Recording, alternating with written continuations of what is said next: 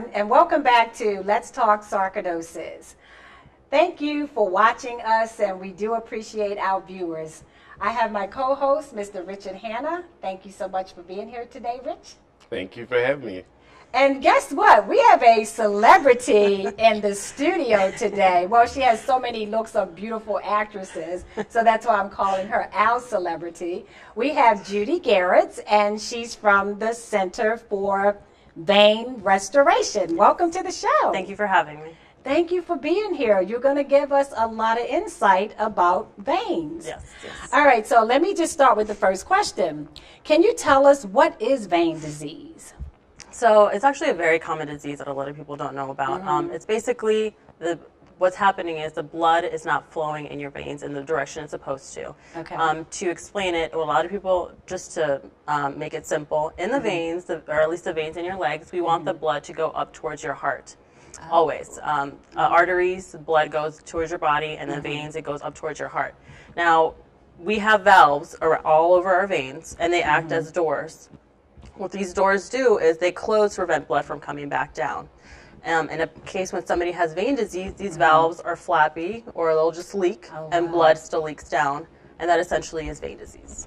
Wow. So, what are the uh, some of the common symptoms of vein disease? So, for vein disease, some of the most common symptoms that we see patients come in with is Mm-hmm. um, restless legs, uh, cramping, but usually cramping at night. Um, a lot of people Okay. will say, you know, I have a lot of cramping. It's not usually the cramping that you'll have when you're exercising Right. or um, because you've walked a lot. It's, it's cramping at night, and many times people say they can't sleep because of that Wow. cramping sensation. And Okay. Mm-hmm. that also goes along with restless legs. Um, a lot of people don't really know a lot about restless legs, but restless legs, um, you feel like you constantly have to move your legs at night. And sometimes the partner is the one who notices that a patient has restless legs. They're like, I, yeah, out of 'em." I just keep getting kicked at night. Um, so until the, pa- the person, you know, moves around and gets Right. up, they essentially will, um, the restless legs feeling will go away. Okay. Um, heaviness, especially too. Um, Wow. because of the blood is leaking back down and it's pulling to your ankles, your legs feel very heavy. Um, also, swelling of the ankles is very, very common. Okay. Um, and then there's a, the traditional signs of the visible signs, such as uh, spider veins, which is usually the colorful veins that kind of spread out, Okay. and the varicose veins, which are the bulgy veins that are ropey around your legs. Wow. So, what are the risk factors?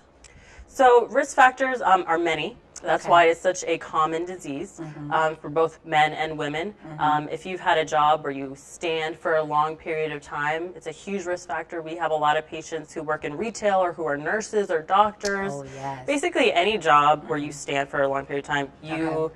are increasing your, your chances of having vein disease. Um, if you've had multiple pregnancies, um, because you have a higher blood volume and you're putting more pressure on your legs, that definitely impacts your veins.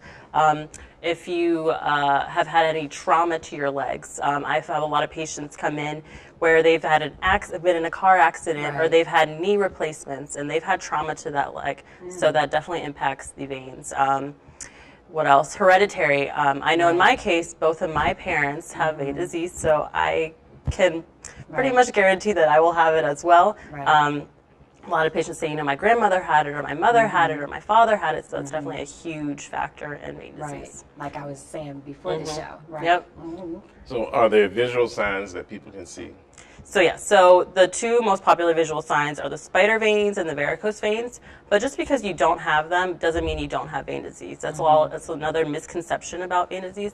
Somebody can have beautiful model-like legs, Right. but you know you can still have vein disease. But um, the most common two are spider veins, which is the colorful uh, veins that kind of just spread out.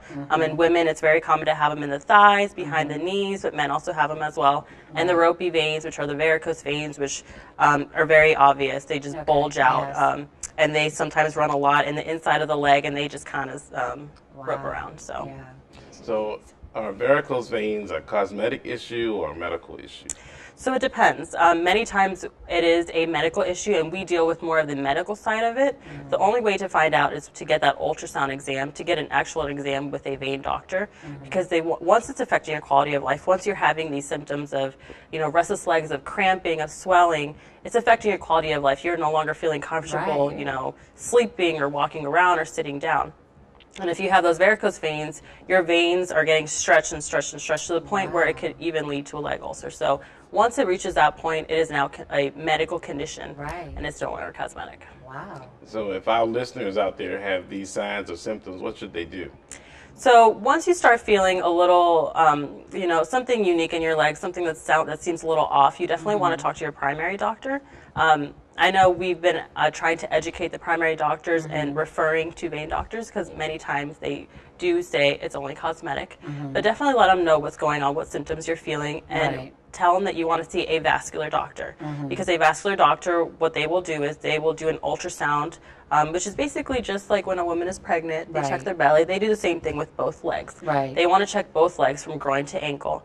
And they check all your veins. They check superficial veins and they, t- and they check um, deep veins. And they want to see what veins are working fine and what veins are causing the issues. And then from there they can determine if you have what's called the fancy word venous insufficiency which basically means you have vein disease. Um, Okay. they measure how long if you do have blood coming back down for how long it's coming back down. And from there Wow. They determine you know if it's cosmetic if you know if you're early in vein disease in the stages of vein disease or if you're pretty far advanced they can determine all that Okay, so I have a two-part question. Yes. um, how is this treated, and then also, um, does the insurance pay for the treatments? so that's a very important question that's Right. usually the number one question that patients Right. come um, and ask The us insurance. So yes, it's a very important question. so um, how it's treated, uh, it's very different from like 10 years ago. I am sure both of you have heard about vein stripping. Um, Um, I haven't actually. so it's a it was a common uh, treatment done about 10 years ago. Mm-hmm. Basically, if somebody had varicose veins, spider veins, um, they would be admitted to the hospital. They would be put to sleep. Um, they would literally strip your veins. Um, and you'd be left with scars. It was a it- you had there was downtime. You know, you usually um, had a rest for a few days, so it was a pretty invasive procedure. Okay. Um, a lot of patients come in, they're like, "Oh, I had you know vein stripping 20 years ago, and Right. I have scars from it, and you know, you know, I have other veins that have come back, and I'm just not happy with the treatments that were done." So that is no longer used. Okay. Um, thankfully, uh, we have you know definitely advanced from that. Wow. Um, they're all minimally invasive now. They're all done in the office. They're no longer in the hospital. Right. Um, usually, what will be done is after you get that ultrasound exam Mm-hmm. and they determine what veins are not working properly, they just numb the area that you need work done, and then they'll use heat or laser to shut down the vein. Because once that vein is not working like it should, Mm-hmm. Right. you need to shut it down so blood can be rerouted to healthier veins. Okay. And then from there, your body absorbs the vein, and your body will eventually regenerate a new vein. Okay. And you won't feel the symptoms. There's no Right. downtime. Um, crazy enough, but some people sometimes Right. come during their lunch break, get the procedure done, and then go back to work because we That's want good. we want patients walking around to prevent any- productive. no, yes. I mean, people have busy schedules, so like you know, just fit me in. This is about a 30 to 45 minute procedure. It's very Right. fast. Okay. Um, so that's that's one of the common treatments, heat Mm-hmm. or laser. Um, also, something called sclerotherapy. That's usually to treat spider veins. Mm-hmm. Um, it's just a small injection that will go onto the individual vein that is not working like it should, Okay. and it also shuts down the vein, and then your blood is rerouted to healthier veins. So they're all very minimally invasive, very fast procedures. Well, that was my question. Has the vein treatment changed over time? And you did elaborate, Yes. but maybe there's something else that you can elaborate because I swear, if you're thinking about vein stripping, I guess I wouldn't want to go and have it done myself. that would keep me from the doctor. Now, we have so a lot of else out patients who don't know that vein stripping Right. is not used, so they're like, you know, all these years I've I've held it, I've pushed it off because I did I Right. don't want to go to the hospital. Mm. There's a huge fear of you know invasive procedures, but a lot of patients don't know that it's not used anymore. It's minimally invasive. I mean, the Okay. doctors are talking to you the whole time. There's no downtime. Like I said, people they encourage people to walk around Mm-hmm. as soon as the procedure's over. Um, the only major complaint that we've heard of is you know you might feel a little soreness as if you've worked out. Right. Um, but just Advil, you know, is enough. They don't prescribe you any any medication afterwards. So it's Oh, a very simple bad. procedure. Yeah. Mm-hmm. I know a lot of people have fears of needles, um, but the only needle that will really be felt um, is the prick when you get the numbing medicine. Okay. So you know it's still somewhat invasive, but it is nothing compared to you know to vein, vein stripping. stripping. yeah, that's just embedded in my brain right now. Jeez, I mean, think about it. So um, those compression stockings, because they can be quite ugly, but tell me how important those could, uh, why they use the compression stockings. So compression stockings are very important. Um, a lot of patients I know, one of the first complaints we have is it's hot, they're very tight, I can't put them on. They you know, they're very uncomfortable. They're not, you know, they look ugly. Yeah. You know, I rarely hear I rarely hear good things about compression Right. stockings, but they're very important, Right. and I'll tell you why. So compression stockings are tight for a reason. Usually, the Mm-hmm. tighter the better, because they act as your muscle. They're tight to push the blood up towards your Oh. heart. Um, so usually they recommend patients wearing them during the day. Um, they recommend if you go on a plane, wear Right. Hmm. them. If you um, are sitting down for a long period of time, like if you're taking a road trip on a car, in a car, Okay, wear wear them. them. Just because if you're sitting down and you have vein disease, your blood is just pooling to your ankles, and that's when you start feeling those symptoms. okay. So compression stockings are definitely recommended if you feel any symptoms, Mm-hmm. or if you have a job where you sit down for a long period of time or, or stand for a very long Right. period of time. They always recommend wearing them. But the thing to note also is compression stockings is just a temporary relief. If you do have vein disease, it'll help the symptoms for a while, but you still need to get treatments done um, Mm-hmm. Okay. eventually. But they're definitely something I would recommend. I know they're very uncomfortable. um, I know they're very tight. But you know, it's just something that is just good for you, and it's going to help alleviate those symptoms you feel. So Because they give you those for after surgeries too. they I do. I've Any surgery, you usually compression Right. stockings because you can develop blood clots really fast, especially Mm-hmm. if you are you can't move very well after surgery. Um, airplane rides, we we have a lot of people that get off airplane rides and they eventually Right. get blood clots. Um, and that's dangerous. Yeah, so Yes. um, it's I actually had a surgery a while ago and I I couldn't move because I had it on my ankle and I, I started feeling the symptoms of a blood clot and I got nervous. Wow. So I called my doctor and he said, "How often are you moving?" So he definitely recommended me getting um, compression stockings in the meantime until I could be a little bit more mobile. But it's a very um, Okay. it's a very important thing to use. Wow. Yes. And so, Judy, what does the Center for Vein Restoration outreach do- do for the community? So we have a whole outreach team. We started about a year and a half ago, um, and basically what we do is we want to educate the public on vein disease. It's such a common issue.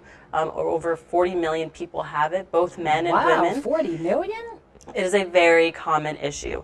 Um, and the number is only growing. So we want to educate the people on vein disease. Let them know, you know, what the symptoms are, what the risk factors are, you know, what you can do about it. The fact that you know you can get it treated and then insurance can cover it is so important. So we go out to communities, we go out to community fairs, we go to churches, we go to senior centers, um, we go to schools. We um, Wow. we focus on teachers a lot. We'll have a, just a day dedicated to teachers, and we'll go out to their county and just uh, scan them, see how their legs are doing. We usually do about a five-minute quick demonstration of, to check their blood flow. Right. We explain, you know, what we're seeing. We show them, and people are intrigued because they're like, you know, I've been feeling all these symptoms. Wow, you know, I thought it was something totally different. I've mm-hmm. talked to my doctor, and you know, I've just been having this issue for so long, mm. and now I finally know that it can get treated.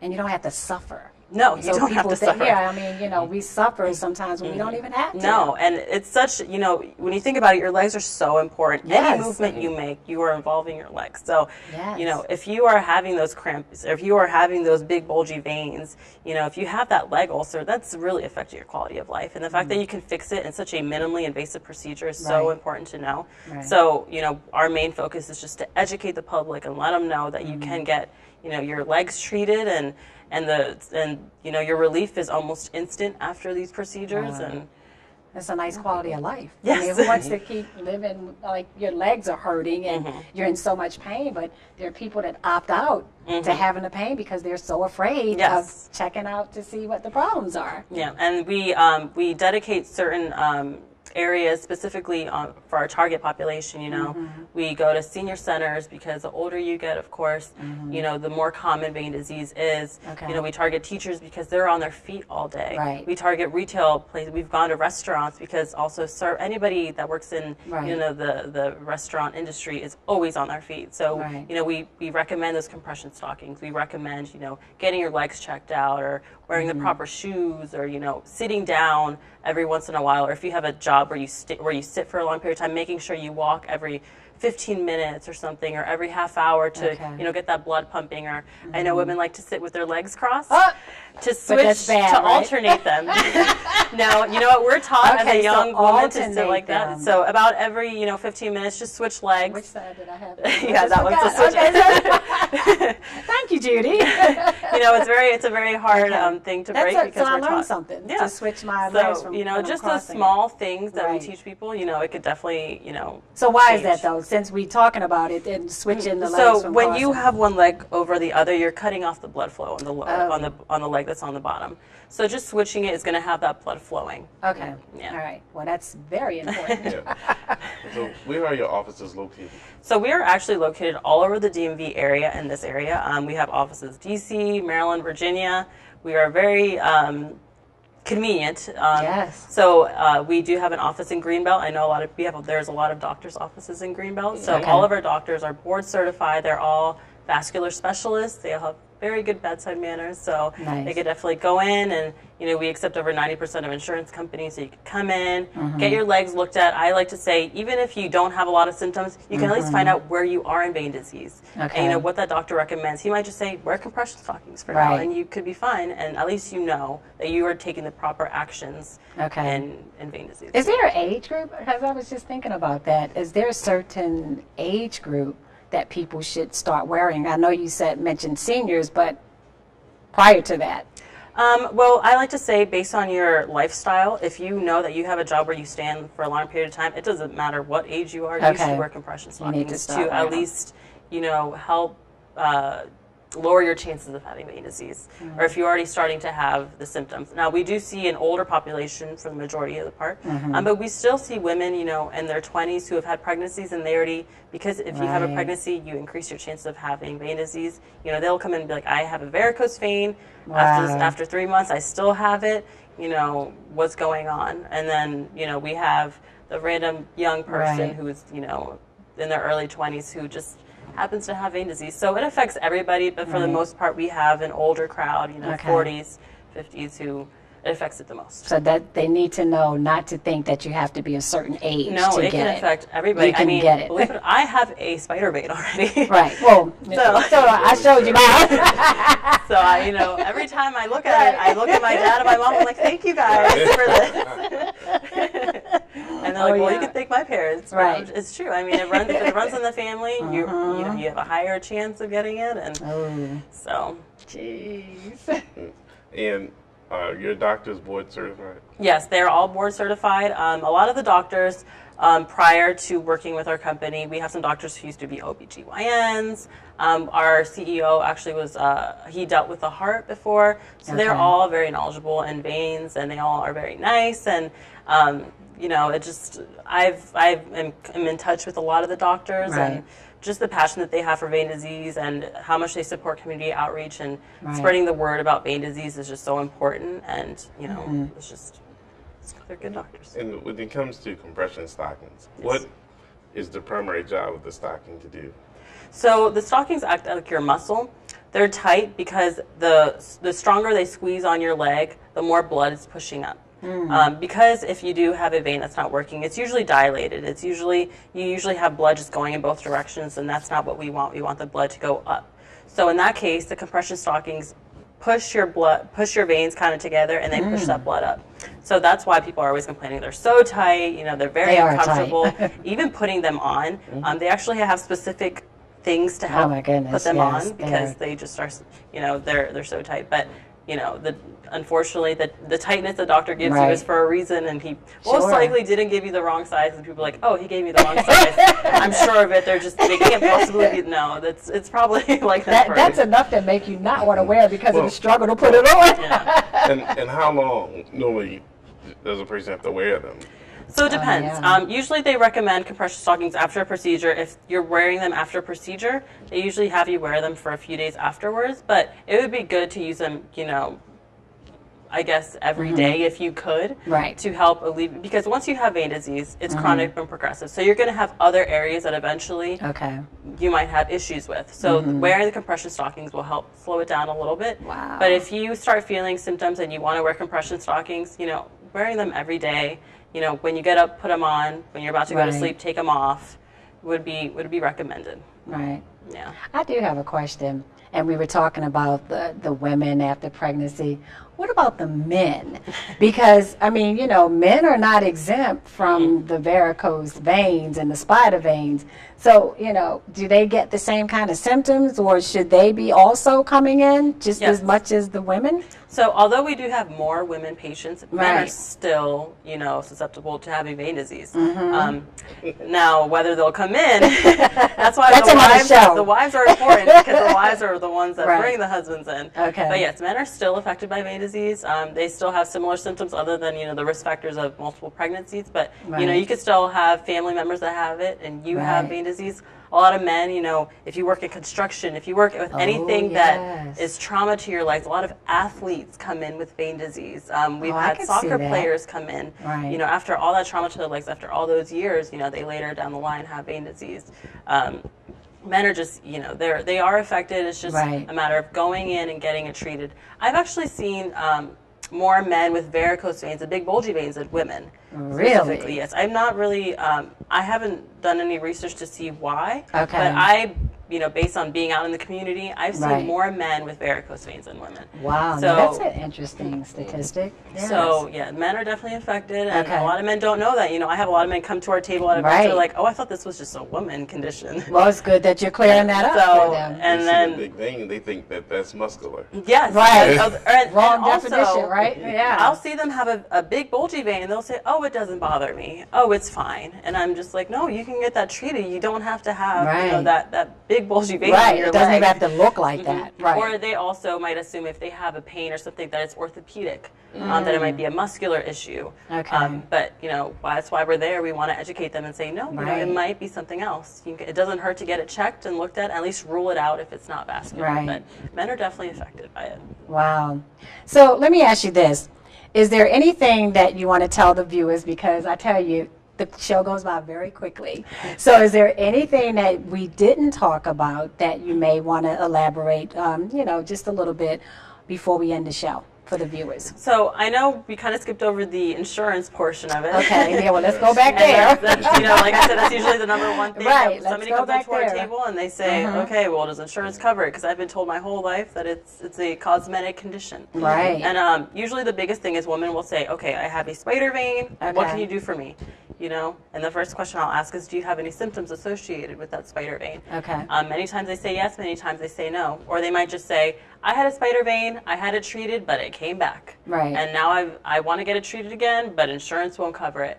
What I like to tell patients is, it is a very just because you have a spider vein does not mean it's just cosmetic. Okay. You might have a larger vein that is feeding those spider veins. Whoa. So until you close that larger vein, you'll keep getting those spider veins. It's serious. It could be really serious. Yeah. And can it be life threatening? No. Um, life's that's the thing about vein disease. That's what I want to tell patients. It's not life threatening. Okay. Mm-hmm. Usually, the last step of vein disease is a leg ulcer. Once you reach that leg ulcer, it's it's it's a little more complicated to treat Mm-hmm. because you know you have to go to a vein specialist, get it, um, get that vein shut down. But you also have to go to a wound clinic to Mm-hmm. Heal that wound.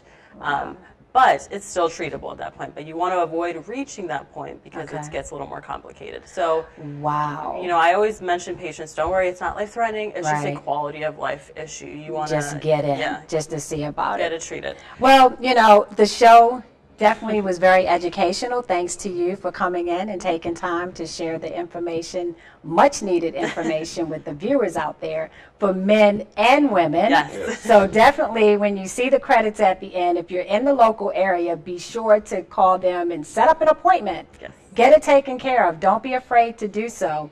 And before we end the show, I'm going to turn it over to the coach's corner with Mr. Hanna. All right. Uh, today you heard Judy talk about getting your um, legs checked out, and and I think that's important because everyone has veins, and everyone just like everyone has uh, finances, and this is a good time to make sure that your insurance is up to date. You know, and to get to use it to use it, you're paying for it. You should use it. And if you need help, making sure that everything's up to date, look at the credits, give me a call, and I'll help you with that. Right. So, as I always say to all my fellow Sarcadonians out there, we all have sarcoidosis, but sarcoidosis doesn't have us. us. Until next time, stay positive. Do yourself a favor and contact Judy Gerez at the Center for Vein Restoration because you don't have to walk around in pain.